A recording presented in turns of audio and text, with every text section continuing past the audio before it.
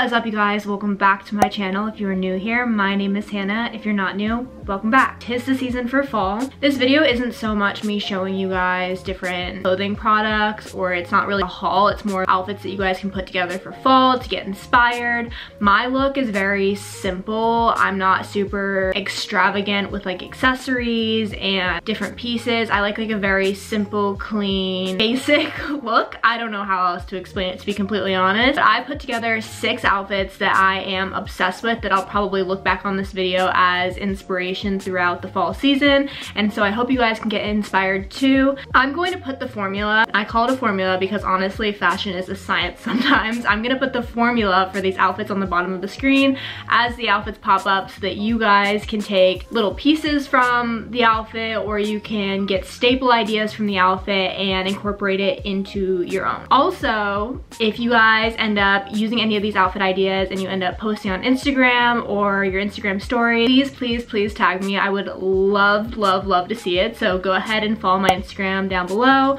Also, if you're not subscribed, go ahead and subscribe. Without further ado, let's get into it. If you see me looking down at my phone, it's because I have the outfits on my phone. That's how I'm gonna explain it to you guys. I don't have a great memory. I can't memorize all these outfits. There's six of them. I just, that would be asking a lot. The first outfit that we have is this plaid skirt with black booties and a black little mock turtleneck top. The staple piece for this outfit is the plaid skirt. I think plaid is very in this season. It's also very fall, fall inspired. I think it's in pretty much every fall season. So I love little plaid elements in outfits. You could replace this plaid skirt with either plaid pants or plaid joggers or plaid shorts. For me, I love a good plaid skirt. I just think it looks very elegant and fun and flirty. You could replace the booties with tennis shoes to make this more casual. It's kind of up to you. Next outfit that we have for you guys is a sweater top with a pair of jean shorts and some Doc Martens. I don't know about you guys, but I live in Virginia, which I guess is technically considered the South. And so for the majority of fall, or at least the beginning of fall, it is very warm outside, like 70, 75 degrees. And so like a lot of the fall outfits that are like sweaters or jeans or something like that, it's like too, it's pretty much too warm to wear them until the very end of the fall season. So I wanted a nice little transitional outfit, a long sleeve sweater top with a pair of jean shorts is such an iconic look with a pair of booties or you could even replace the Doc Martens slash booties with a pair of tennis shoes. One of my go-to outfits for transitioning into fall from summer to fall. I am obsessed with this look and I know that you guys would be obsessed with it too. Next outfit that we have is this button down cardigan with a pair of ripped crop jeans and my Air Force Ones. These button down cardigans have made a comeback this season. I bought this top a year ago when they weren't really a thing, like they weren't really a trend, but I just love the style and wow. These crop cardigans are on like every single website I've looked at under their fall category. I don't know why they're all of a sudden on trend, but I'm 100% here for it. And I just think that it spruces up a very simple outfit. You can throw on a crop button cardigan. You don't even have to put anything under it.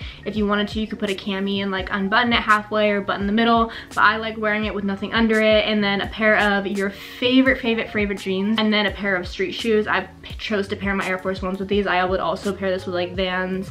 You could even throw like Doc Martens or something along with it, but I just think that the button down cardigan is very in the season and it's such a staple piece. The next outfit that we have is a pair of ripped jeans with the Air Force Ones again, but this time we're pairing it with a nude bodysuit. Nude is like the perfect fall color. I don't even know if nude is technically a color, but we're gonna make it a color. So nude is the perfect fall color. Pair it with your favorite jeans and shoes like the previous outfit, and it makes for such an iconic, simple outfit, but it also looks very fallish. In addition, throw on a little plaid blazer. I told you I'm obsessed with plaid. I don't know what it is, but throw on a little plaid blazer over this and it just spruces up the outfit a little bit. It adds an extra, a little additional element that we all love to see. I was looking through Pinterest. So a lot of these outfits that I'm listing are actually inspired by Pinterest and I was looking through Pinterest and an oversized blazer with a pair of ripped jeans and a crop top or a bodysuit is so, so, so in and I love it. I just think it's a very cool way to take a traditionally formal clothing element and then turn it into street style. I just think that that's so cool. The next outfit that we have is the exact same pair of jeans. Throw on a pair of Doc Martens booties and an oversized sweatshirt and there you go. This is probably the most basic fall outfit that you could probably come up with but this is like my go-to outfit in the fall. I think it's comfy, it's casual, it's cool. You look like you just literally like rolled out of Brooklyn. We, we love to see it. So I paired this New York sweatshirt with a pair of my favorite jeans and my Doc Marten. For this look, I would probably throw my hair up in a bun just because I feel like the, the outfit itself kind of makes a statement, so I wouldn't want like my hair to be down. This is also Pinterest inspired, but I've worn this for years. It's like my go-to outfit because I think it's so simple and it's comfy and it's cool.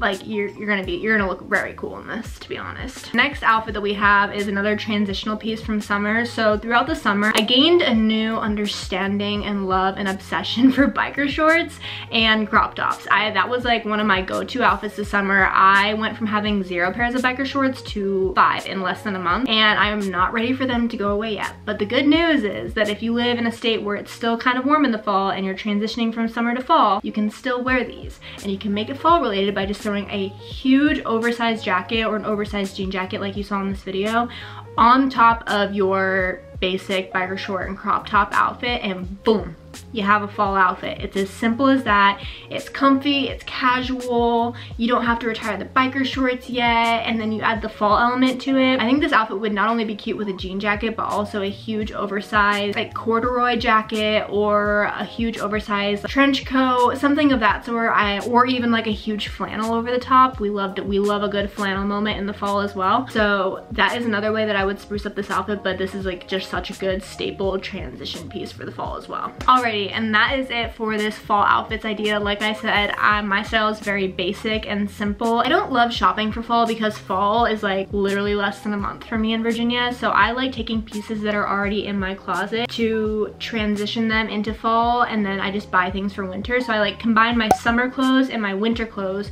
to create fall clothes. Literally every single piece I just pulled from my summer closet and my winter closet to make fall clothes. And so I wanted to make that very clear that this isn't something that you need to go out and buy these elements You probably have them in your closet at home and you can make these outfits yourself for free, which we love. So that is it for this video. Thank you guys so much for watching. Like I said before, if you guys are not subscribed already, don't forget to subscribe down below. Give this video a thumbs up if you enjoyed it and I will see you guys next time. Bye.